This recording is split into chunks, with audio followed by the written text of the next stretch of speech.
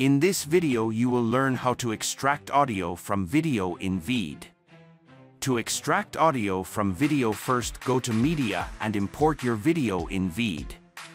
After importing the video, to separate audio from video just right-click on your video on the timeline. Go to Audio and click on the Detach Audio option. That's it.